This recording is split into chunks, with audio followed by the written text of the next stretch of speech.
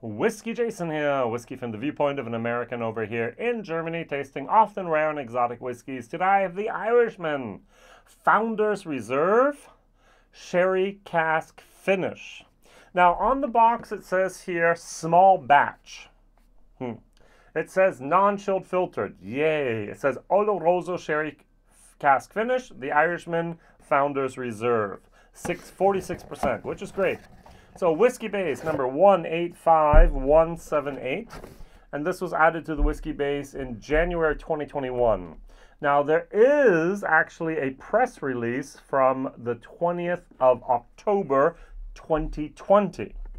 And it says basically the Irishman Founders Reserve gets sherry for Merry Christmas and nine casks to be shared worldwide across select markets, including USA, Canada, Russia, and Ireland. And by the way, Germany. All right, so this was October 2020. The world has changed since then. We would not be proud to say, hey, select markets with Russia. All right, so I uh, was able to attain this. Now let's go back. Um, basically, December, January uh, 20, uh, 2020, 2021, I bought this bottle. Uh, the problem was sometimes I buy more bottles than I can actually share and do videos about, so it goes on my shelf, and then new bottles go in front, and so on and so on. So I'm in the process of getting rid of some of the backlog. And before I went on vacation this summer for a week, I took pictures of like six, seven bottles that I wanted to video, do a video of, because I always do a bottle share. And so I put this up during my vacation time as a bottle share. Totally gone. I was very, very happy with that. That's great. And so this is a bottle that actually appeared in Germany uh, almost two and a half years ago. So that's why I'm doing it now. And it says here um, that we actually have the Irishman Founders Reserve Oloroso Sherry Cask Finish is triple distilled, yay, entirely in copper pot stills and aged in American oak bourbon barrels before being finished in Oloroso casks for an additional 12 months and bottled at 46%. So now, first of all, it's a shame that they did not mention how long it was matured beforehand. So, mm.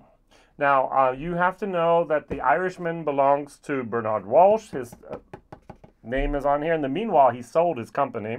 He's still general general manager. Um, he sold it to a company that was actually targeting Russia. I just love these little bits and tads of information here. They were going for the Eastern European market, in particular, going over to Russia. Hmm. Oh, well, we'll see how that works out. And um, what we have here is this is a single barrel. So this is a single cask release. It says so here. It says it's actually uh, cask number 1505. Over here in Germany, 1505 hit as well as 1504. Where the others seven went, I'm not sure. So I have bottle number 137 from 936, 46% ABV sherry, and it's a Founder's Reserve. Now, the Founder's Reserve had already been with the Florio Marsala, did a video about that online, and there was also the Chairman's Reserve, the rum cask. Mm, I'm not sure if I did a video about that one or not. i have to go take a look. These are all limited editions. So you have 900 barrels with about 930, 940 um, bottles each. So 9 times 930, you get about 8,000 bottles all over the world, which is just fine. All right, so these are basically gone. The recommended retail price is $99.99, way too high, or 75 euros, still way too high. All right, so um, on the market in the Germany, there's still one shop that has it for 55. 55 euros is what I shared it for. That's what I um, said I paid for it and so on. Um, I don't even I don't have a receipt anymore. I have to go look in my book, my bookkeeping, my accounting to find out I was too lazy.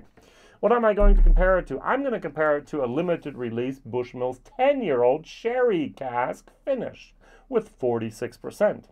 Now, if you're a whiskey based person, this will be Whiskybase number 179021. So this was released in March of 2021. This was added to the Whiskybase in January 2021. So they're just basically, I'm two and a half years late to talk about the best whiskeys we could have bought back then. All right, about two, two and a half years ago. This is still on sale in Germany for 38 euros. 38 euros for a one liter bottle, originally travel retail, limited release, cask reserve. 38 euros for a one liter, 55, originally supposed to be 75, and $99 for a 0.7. So now, how long was the finish? We don't really know. It says here, matured for a minimum of 10 years, this unique single malt is finished in Oloroso sherry barrels, hand selected by Bushmills master blender Helen Mulholland. Oh, she's also long gone. But she did a great, great job. Thank you very much, Helen, once again for Causeways collection. Thank you very much for all that you're doing. Now we have here Alex take took your place, and she's also doing an excellent job at Bushmills. Now, just looking at these very, very briefly, the Bushmills is darker. It might be because of the 10 years in oak. It might be because of the somewhat more color intensive casks that were used here. I don't know, but I do know this is a no age statement. I do know this has an age statement. I do know this says non-chilled filtered. This does not say that. This does not say anything about natural color, nor does this. I do know the price 55 and I do know the price 38, one liter. This is the bargain with an age statement and 46%. Let's see if it delivers on the nose. Going over here, first of all, to the Irishman. The Irishman is always a mixture, the what Writer's Tears is a mixture as well of uh, single pot still from Ireland and single malt from Ireland. All right, so it's not a single malt, it's not a single pot still, it's an Irish whiskey mixed. They call it the champagne of Irish whiskey. It's a mix, a cuvee of that. And if I remember correctly, the Irishman has more, it's either single malt or single pot. So I always forget it 60 40, 40 60. All right, here Bushmills 100% malted barley, copper still, copper pot still. And um, this is then single malt. Now, this has a much, much stronger, attractive, and delicious nose. I get leather, I get figs, I get the sherry coming through here. This is very, very, very, very nice. This,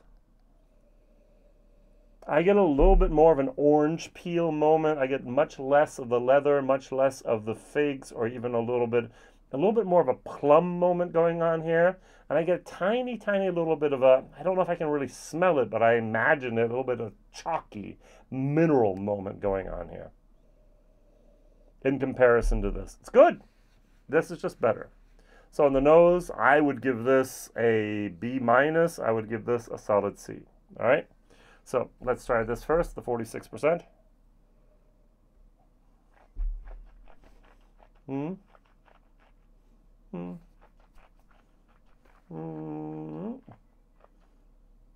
Hmm. Nice 46%. A little bit of a darker a little bit more of a berry, a little bit more of a blackberry moment going on here. This is okay whiskey. This is C plus whiskey. Value for money, 55 euros, no age statement. C, C plus, and the taste. Go for more C plus today.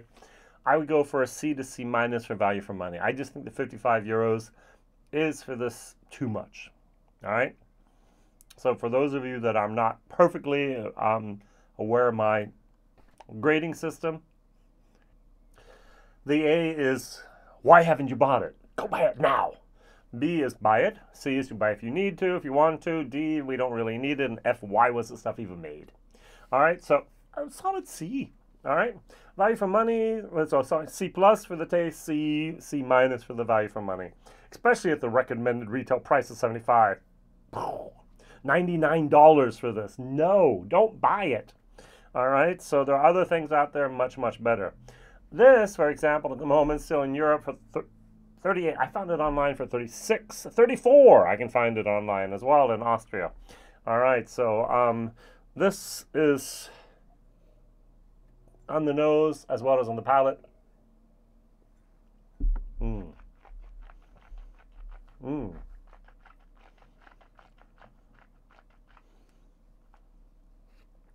The berries, the strawberries, the the the leather, the figs, the plums, the the dates. Mmm. Very, very nice.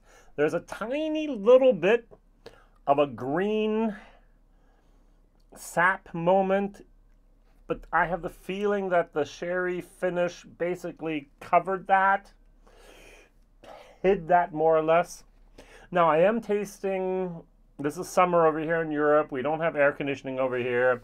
Um, outside it is 80 some degrees, inside it's 80 some degrees.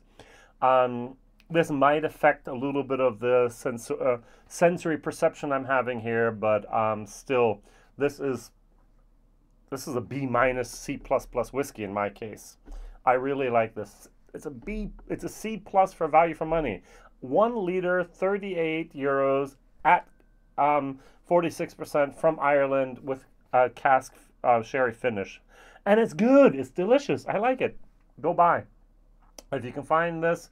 And it has this orange signal color that you can always see in my shelf. Everyone's always, well, Jason, behind you, take that, do that, do that. And I have that as a comparison sometimes. Now, just to briefly go back to the Irishman, is the Irishman a bad whiskey? Definitely not. It's a C plus whiskey in the mouth. On the palate, but I just think the money that I paid for this in comparison to this is a little bit too much. Hmm. That's the winner today. Got some complexity, but got some depth. But does have that mineral, chalky moment going on there. This has a little bit of the, the green going on that, green wood moment, sapwood. This has a little bit of that chalkiness, mineral moment. Yeah, both of them have their place in the world, or had their place in the world about two, two and a half years ago. The question is, do we still find these? Now, my question of the day is, imagine you can't find either of these. You want an Irish whiskey with a great sherry influence. I would go for the Irishman 17. If you can find it, it's going to be 100, 120 euros at the moment. Buy it. It's one of the best whiskeys I've had with a sherry, full 17 year sherry maturation, single cask, delicious cask strength it's one of the best um, whiskeys out there, period. If I can't find that, um, I'm going to go for a Redbreast 12 year old cask strength with sherry influence. Um, if I'm not going to find that, I think there was an oh, W.D. O'Connell. Um, there was a, a, single cask, 0.5 liter. I think it was a 12 year old. Oh, that was good. And there's some great, great whiskeys out there with sherry cask influence in the Irish whiskey world. What would you recommend? What would you choose? Um, even the 10 year old here from that is very, very, very nice. So, what recommendations can you give others in the chat here for a good Irish whiskey with sherry cask influence? influence? Thank you very much for watching, liking, subscribing, telling others, and see you very soon. Whiskey Jason here. Bye bye.